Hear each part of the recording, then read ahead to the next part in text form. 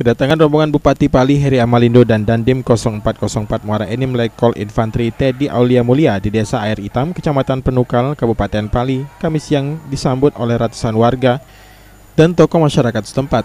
Rombongan langsung menuju kantor Kepala Desa Air Hitam Barat untuk mengecek langsung kegiatan bakti sosial sunatan massal dan pelayanan kesehatan secara gratis kepada warga.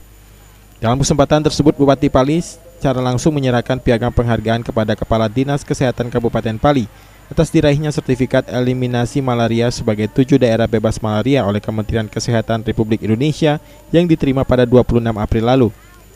Bupati Pali Heri Amalindo menyatakan kegiatan ini merupakan acara memperingati Hari Malaria Sedunia dan bakti sosial bersama TNI. Selain itu, Heri mengajak masyarakat untuk tetap menjaga kebersihan lingkungan agar masyarakat tidak terkena penyakit, terutama penyakit malaria yang disebabkan perkembangan nyamuk. Kita salah satu kabupaten yang ada di Republik Indonesia ini mendapatkan piagam eliminasi bahwa di daerah kita di selama tiga tahun berturut-turut ini tidak ada penyakit malaria. Hari ini dengan kerjasama dengan Pak Dandim 0404 Morenim mengadakan kegiatan sosial baik dari kesehatan gratis, berobat gratis dan sunatan massal. Nah tentunya kami mengharapkan seluruh masyarakat kita jangan kita terlena.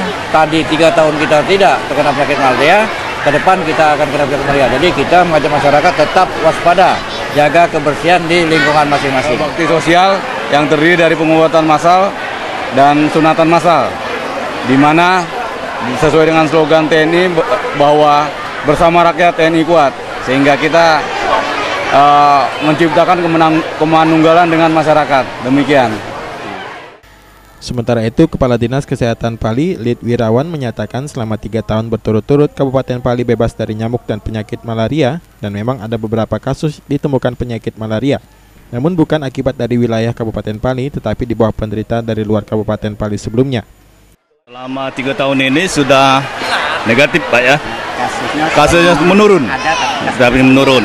Sudah tuh yang kita derita ini bukan asli dari tempat kita, impor satu orang yang positif itu kita periksa rupanya kerja di Lahat.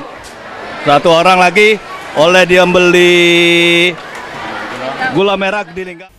Di akhir kegiatan, seluruh camat, Direktur RSUD Talang Ubi, dan Kepala Puskesmas Kabupaten Pali menandatangani komitmen pemeliharaan eliminasi malaria dengan ditandai penandatanganan komitmen yang disaksikan Bupati Pali, serta pemberian bantuan kelambu anti nyamuk secara simbolis yang langsung diberikan Bupati Pali Heri Amalindo kepada masyarakat dan diakhiri dengan sesi foto bersama. Rusniawan, PAL TV